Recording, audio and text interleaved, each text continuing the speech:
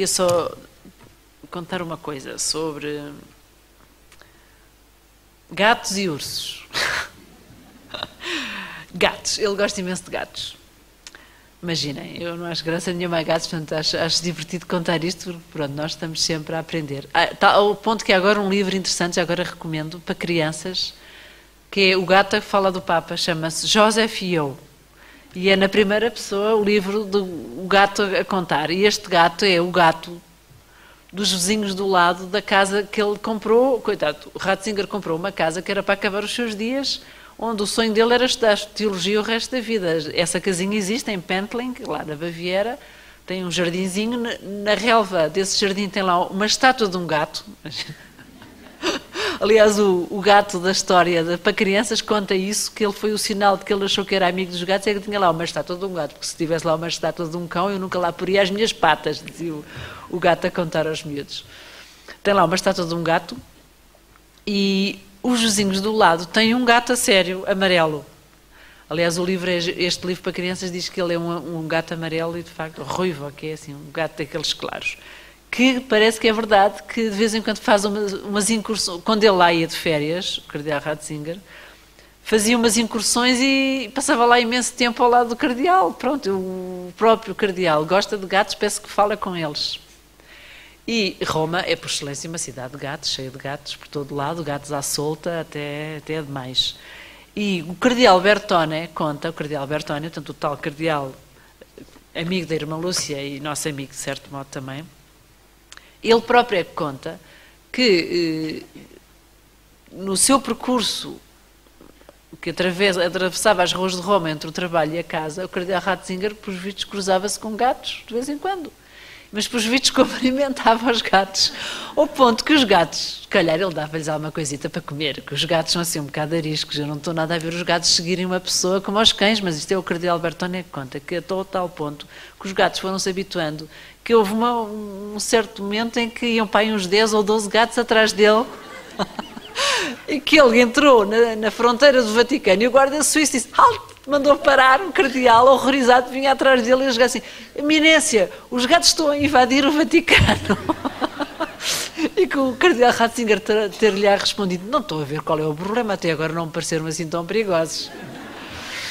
Uh, então, esta, isto já corria esta voz de que ele gostava muito de gatos, falava com os gatos, parava, fazia-lhes festinhas, etc. Então, quando ele foi eleito, entre os jornalistas correu voz que ele entre outras coisas, além da biblioteca e do piano de cauda, tinha levado um gato. E quando o gato andava lá agora feito doido à solta, a correr nos corredores de, pintados por Rafael, lá no Palácio Apostólico, de um lado para o outro, todo contente. Claro que não levou gato, levou um gato, mas é de porcelana.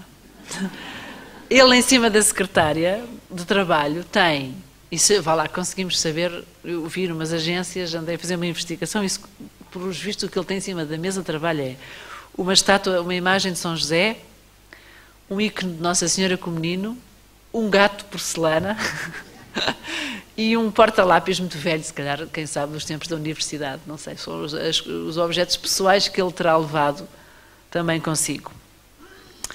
Em relação uh, aos ursos, são duas histórias de ursos. Uma tem a ver com um ursinho de peluche que também define muito o coração deste Papa e a ternura dele.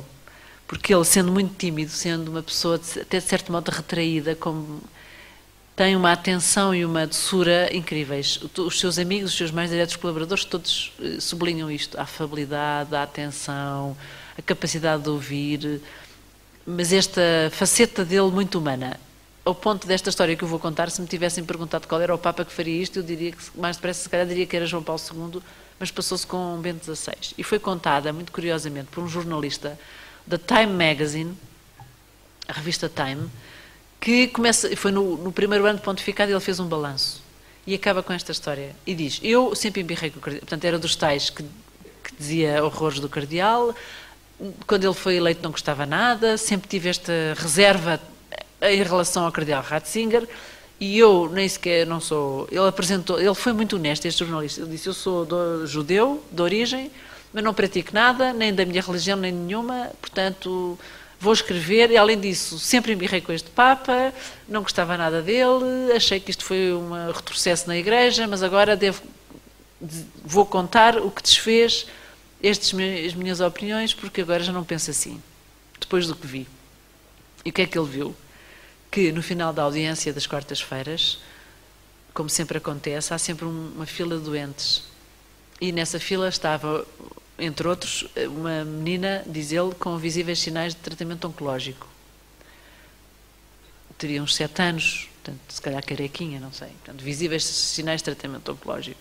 Que estava de mão dada com a mãe e com o de peluche agarrado ao peito. E que o Santo Padre, quando chegou ao pé delas, deu-lhes a bênção, e quando chegou ao pé da menina, pôs-lhe a mão na testa, a mão na cabeça e fez uma cruz na testa, e depois fez exatamente a mesma coisa na cabeça do ursinho que é uma coisa maravilhosa, quer dizer, para o universo daquela criança foi a coisa melhor que podia ter, quer dizer, a bênção do Papa incluindo para o ursinho, quer dizer, tal para o universo da criança e para o universo do jornalista, não é? Quer dizer, o jornalista que estava carregado de preconceitos viu um vislumbre de, de grandeza humana que o desarmou completamente. Nunca, ele nunca esperaria isso do, do, guardião da fé, estar a fazer uma benção na testa de um ursinho de peluche. É? E, portanto, é uma coisa extraordinária. E a outra história do outro urso.